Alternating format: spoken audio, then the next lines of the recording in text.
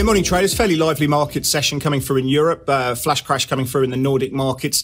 Uh, did resonate coming through into European equities. Certainly the CAC in France uh, dropping quite precipitously, dropping about two and a half percent off the bat, but it did come back. But as you can see here, we we, we did close lower in European equity markets. US uh, equity markets have given us a bit of a mixed picture for Asia. I mean, at one stage at its worst, we saw the S&P cash market uh, 4062, so that was down about 1.7 percent.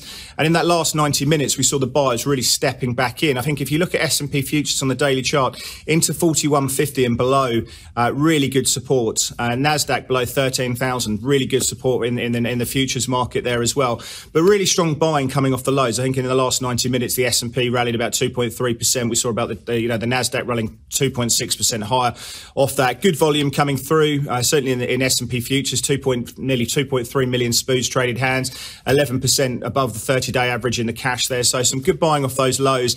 Go into the uh, into the rates market, you can see a little bit of selling at the front end. We've got one two yields up one basis point, but you go to the board to the back end, we've got tens trading 297 at the moment, up four basis points. Where the action has been has in been break evens. We've seen inflation expectations moving down fairly sharply, and as a result, real rates have moved up very very sharply indeed. Now I think part of that is is actually strengthening the US dollar as it goes into the G10 complex. You can see the US dollar up against pretty much everything, certainly against the Swedish, against the NOK, and the pounds dropped from around 125.80 for a European trade, uh, getting down to a low of sort of 125.78, around that kind of level as well. So there's where you've seen this sort of action coming through. And it's also weighed on the gold price. You can see here the gold price, you know, trading through the 100 day moving average. We've got down to a low of uh, 1853 uh, in spots, and certainly, yeah, that's been uh, heavily traded by clients as well. Obviously, all eyes on the Aussie dollar. We traded 70, 82, 70, 30, a bit of a range playing through there. The interesting thing as we go into that RBA meeting, we've got 14 basis points being priced in for this one.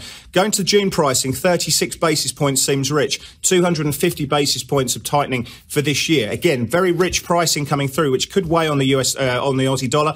At the same time, the market's very short as well. So this is going to be the interesting trade of the day. All eyes on the RBA meeting later on.